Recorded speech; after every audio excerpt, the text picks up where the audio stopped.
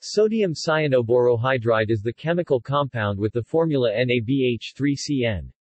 It is a colorless salt, but commercial samples can appear tan. It is widely used in organic synthesis for the reduction of imines. The salt tolerates aqueous conditions. Use Owing to the presence of the electron-withdrawing cyanide substituent, B CnH3 is far less reducing than is BH4 as found in sodium borohydride. As a mild reducing agent, it is especially used to convert imines to amines. It is especially favored for reductive aminations, wherein aldehydes or ketones are treated with an amine in the presence of this reagent. R2CO plus R NH2 plus NaBH3CN plus CH3OHR2CHNHR plus NaCH3OBH2CN. The reagent is typically used in excess. Selectivity is achieved at mildly basic solutions pH 7 to 10.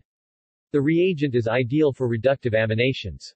Borch reaction in conjunction with tosylhydrazine, sodium cyanoborohydride is used in the reductive deoxygenation of ketones. Structure and preparation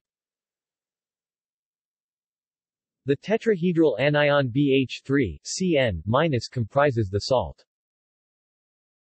The reagent is invariably purchased, although it can be prepared easily. One method involves combining sodium cyanide and borane. Another route entails treating sodium borohydride with mercury cyanide. The commercial samples can be purified but the yields of the reductive aminations do not improve.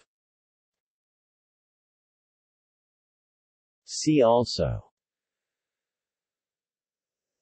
Sodium triacetoxyborohydride, a milder reductant, but unstable in water Sodium borohydride, a stronger, cheaper reductant References